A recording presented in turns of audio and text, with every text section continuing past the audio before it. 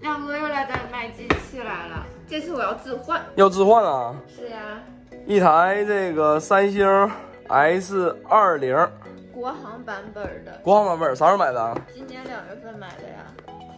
今年二月份买的。是的。那咋咋现在现在寻思卖了呢？我用不惯三星的系统，然后我就给放忘了，我后来发现我导柜才找出来。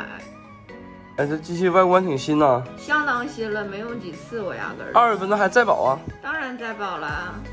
你相当于保到明年的这个二月份呗，差不多。对对对。三星一般没有发票，应该是十五个月保修的。三三星，它三星的保修时间跟那个苹果的不一样。三星我记得是十五个月。啊，我不太清楚，你查吧。气密性有吗？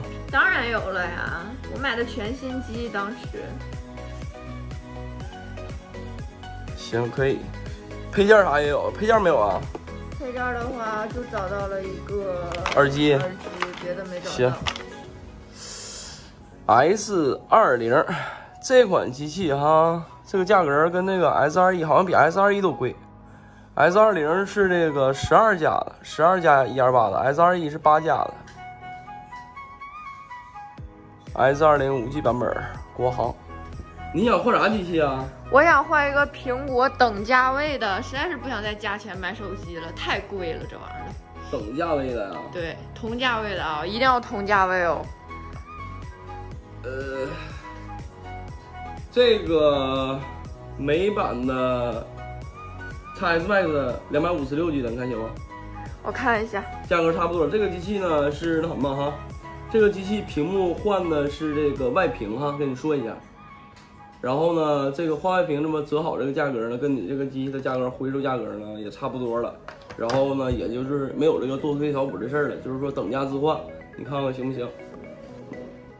你看这台机器行不行？可以，我感觉这个机器好，而且还大又新。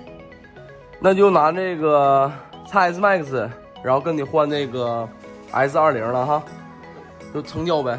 成交。这是今天收到这个三星的国行 S 二零哈，十二加一二八的这款机器呢，有很多人觉得，哎，为啥这款机器怎么 S 二零比 S 二一的价格差不多，甚至还贵呢？因为这个 S 二零哈，它是那个十二加的，然后呢，这个 S 二一呢是八加的，配置呢要更高一些。虽然说它年份更久一些哈，这款机器外观非常漂亮，还在保的。好了，今天视频呢就到这里哈，如果喜欢我的视频，记得点赞关注，拜拜。